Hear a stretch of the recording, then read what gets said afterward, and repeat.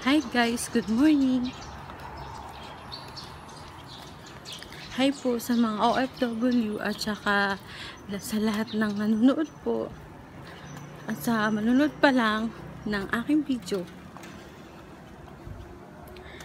Um, magbablog ako para sa mga bagong dating lang dito sa Taiwan, yung mga gustong lumabas, kung ano yung una nilang gagawin pagka gusto nilang lumabas ng lugar nila kung pupunta sila simbahan katulad ko.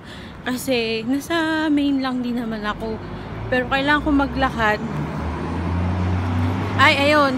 Papakita ko sa inyo yung pauya hindi ko siya mabaliktad eh. Ah poya siya. Sa mga Pilipino poya pero ah ang tawag nila sa Chinese is pauya. Pauya. Okay? Ayun siya, oh. Kita niyo ba? Pauya.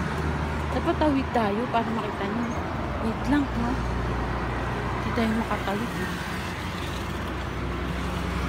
Ito po yung Watson. Ah. Nakita, ayun. Here at Watson. Nakikita nyo naman kasi hindi naman siya Chinese. Watson lang talaga siya, Watson. Yan. Kita nyo po ba? Yan. Watson. Watson yan.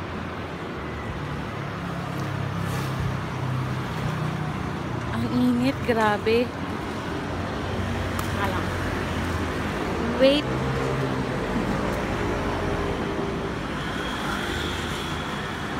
Mamaya mag-iipit tayo kasi sobrang init. Ay, stop na. Ayan. Tatawid tayo.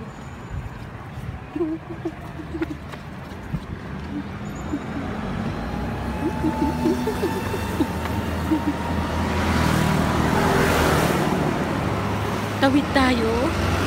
Ayun po ang pauyasan. Watson. Poya. Kita nyo po ba?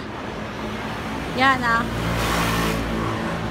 Diyan ko po binibili yung yung mga essence na pinakita ko nung unang upload ko.